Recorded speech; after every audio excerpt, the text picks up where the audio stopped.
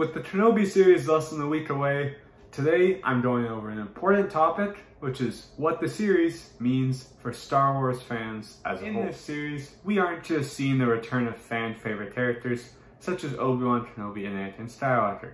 We are seeing two characters and many others that we are very, very emotionally attached to as a fan base. And that is what we're going to be talking about today. It is the lens which we view these characters and how this show is important for framing how we view. Whenever any quote unquote legacy character appears, it's always an interesting concept. Legacy characters essentially being characters from like the original trilogy, even prequel era now, which are well established and loved by fans. I would describe it as well established fan favorite characters from before Disney bought the franchise. So, for example, Luke Skywalker, Han Solo, Obi-Wan Kenobi, Ahsoka Tano, all of them would be legacy characters. And all of these people have appeared in shows and movies, from Han Solo Day and his own spin-off, to Ahsoka and Luke appearing in The Mandalorian, to now Kenobi in his own series, with Hayden returning The most important thing, in my opinion, in regards to the series and how it relates to how we view these legacy characters is lots of times we have had in our minds what we wished was true, the stories we wanted to see. And that distracted us from the stories we were actually getting. Like, that's the main thing with Luke in The Last Jedi, is people have 40 some years of stories built up in their head of what they thought his life would be like after Return of the Jedi. And Rian Johnson came and made what he thought was the best possible story for Luke after Return of the Jedi. He went in his own unique direction because the main criticism of The Force Awakens was it was essentially a rehash of A New Hope.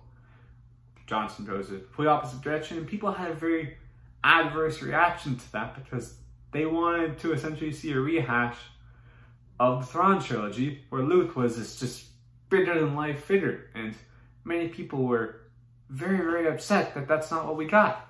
In this Kenobi series, in my opinion, no matter how good it is, there's going to be people upset because it isn't the story they had in their minds for what they wanted it to be.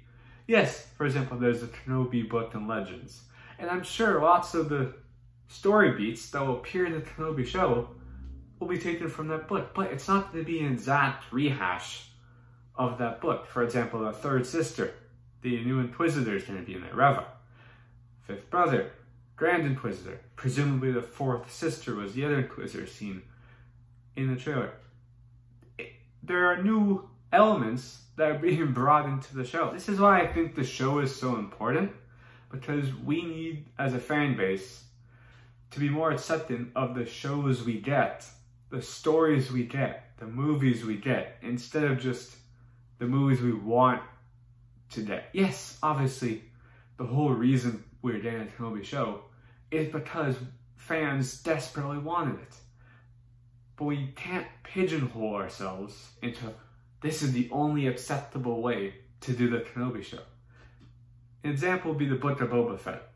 Yes, lots of people criticized it for, yeah, this isn't the best Boba Fett story. I agree with that. For example, two of the episodes hardly showed Boba Fett. However, it's still a great show overall, and I don't suspect Kenobi will have that same show.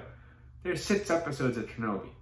They're gonna be fairly focused, almost a, no, they're gonna be 100% focused on Kenobi's story. And it's gonna be great, I have faith. Anyways, I hope you all enjoyed this take in regards to what I think is the most important part of the Kenobi series. I hope you all have a great day, and stay blessed, everybody.